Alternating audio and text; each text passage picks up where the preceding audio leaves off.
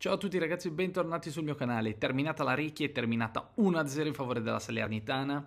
Salernitana che porta via tre punti importantissimi, tre punti che permettono appunto alla squadra di Davide Nicola di salire a 13 punti in classifica.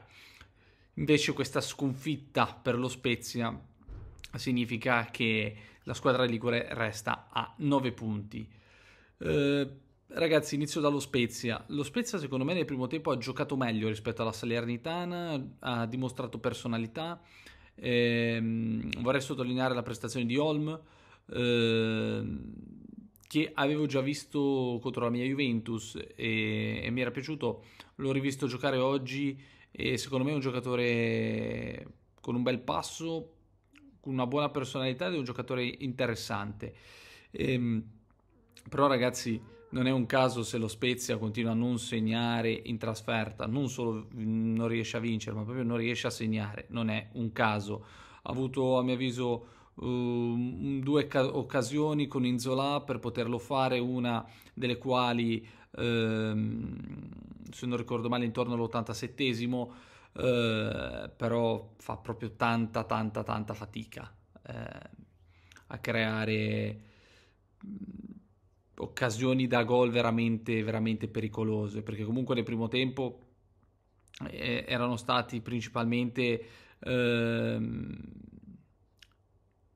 tiri verso la porta di Sepe, ma eh, molto, molto agevoli, ehm, mentre Dragoschi ad esempio eh, ha fatto due interventi nel finale di partita veramente, veramente importanti, veramente di livello.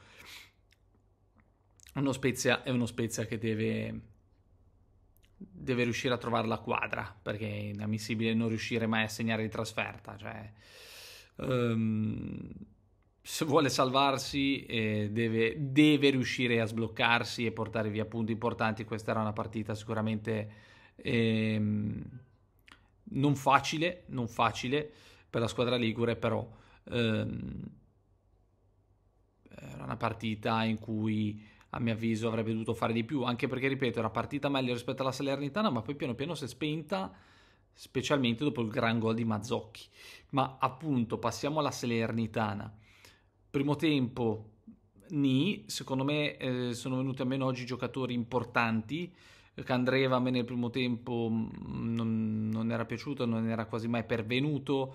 Eh, Koulibaly oggi ha, ha, fornito una prestazione eh, meno brillante di tante altre volte in cui l'ho visto giocare. Eh, io l'ho sempre detto, un giocatore che a me eh, piace, lo ritengo un giocatore molto interessante, però oggi ha fatto, ha fatto pochino. Um, mi era piaciuto uh, Dia. Ragazzi, io continuo a dire che questo è stato un grande acquisto, un giocatore che eh, comunque fa, fa, la differenza lì davanti e mi era piaciuto anche come si era mosso ehm, Bonazzoli. Però per me eh, i due, i 2-3 grossi assenti del primo tempo sono stati Candreva e Koulibaly su tutti e poi anche lo stesso Mazzocchi non aveva giocato un grande primo tempo. Eh, però il migliore in campo per me quest'oggi lo dico subito è Fazio. Mm, Fazio per me oggi ha fatto un partitone eh, è stato onnipresente ma comunque tutta la difesa della Salernitana ha giocato bene lo stesso Ghiomber ehm, tutti tutti hanno giocato bene in difesa però Fazio secondo me è stato il migliore in assoluto. Ehm, e poi nel secondo tempo, ragazzi, la Salernitana è venuta, è venuta fuori da,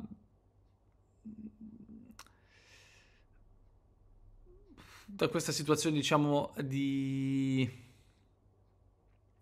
di difficoltà, mettiamola così, cioè di... Um, perché anche, anche all'inizio del secondo tempo, secondo me, lo Spezia aveva iniziato con un approccio migliore però poi la qualità dei singoli viene fuori. Eh, Candreva che finalmente riesce a, a trovare più spazio, un pallone che viene messo in mezzo, e poi Mazzocchi si merita questo grandissimo gol perché è, è solo un grandissimo gol e da lì però cambia la partita perché lì l'inerzia della partita va tutto in favore della Salernitana che riesce a gestire il gioco, non rischia praticamente mai se non appunto all'87esimo con l'occasione che dicevo prima di Inzola e, ehm, sì, è poco prima con un altro tiro di Inzola che era uscito non di tanto ehm, però ripeto la Salernitana nel secondo tempo è stata un'altra squadra è stata un'altra squadra. Poi aggiungo, sono molto molto molto contento di aver rivisto in campo Boinen, um, perché è un giocatore che a me piace, è un giocatore che secondo me sarà molto molto utile a questa Salernitana ed è un giocatore che appena entrato ha fatto vedere subito la sua importanza. E, e questo giocatore è mancato tanto, eh, a mio avviso, a Davide Nicola.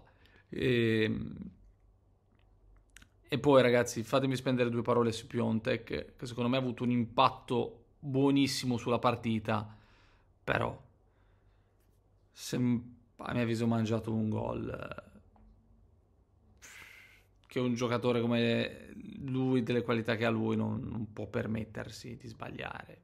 Eh, va bene che Dragoschi è stato bravo, ma lì un giocatore come Piontek deve fare gol nell'uno contro uno col portiere, eh, con tutto il tempo di prendere la mira e calciare, deve fare gol. Eh, però comunque mi è piaciuto mh, mm, il suo impatto sulla partita, è entrato bene, senza dubbio.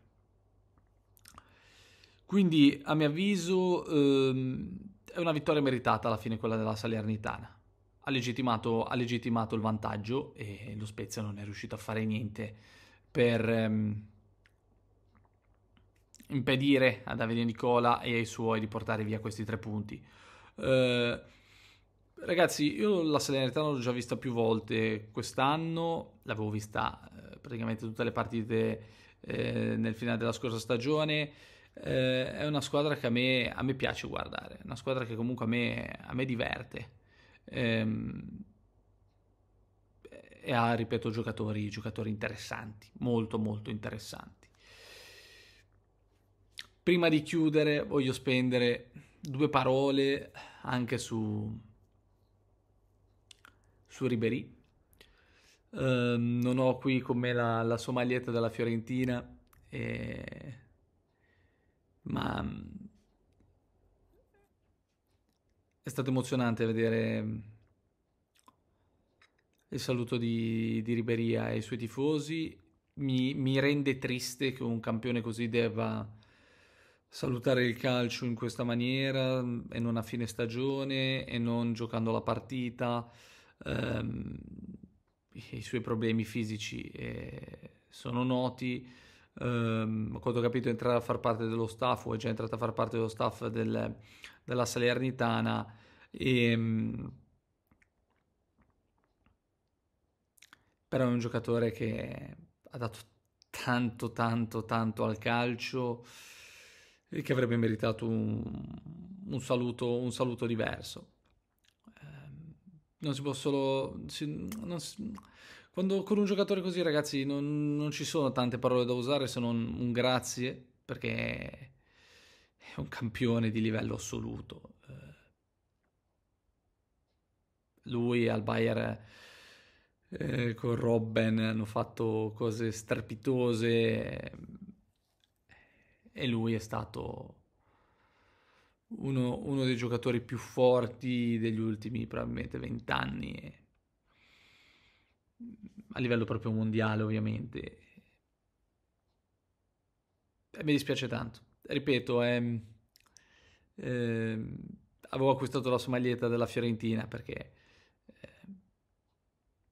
lo ritengo un campione che va al di là eh, di un colore di una maglia o, o quello che è. Cioè, per me è un giocatore incredibile. Oggi mh, mm, veramente mh, mm, se ne va anche una, una parte di, della mia gioventù eh, con lui perché mi ricordo che lo compravo spesso e volentieri nei videogiochi quando ero, quando ero più piccolo ed è un peccato, è un peccato ragazzi. Quindi grazie di tutto Frank ehm, e grazie di tutto quello che ci hai, ci hai dato ci hai regalato. Va bene ragazzi, vi mando un forte abbraccio, vi invito a iscrivervi al canale Fonde del Verbo, e, è stato veramente emozionante. Ciao ragazzi.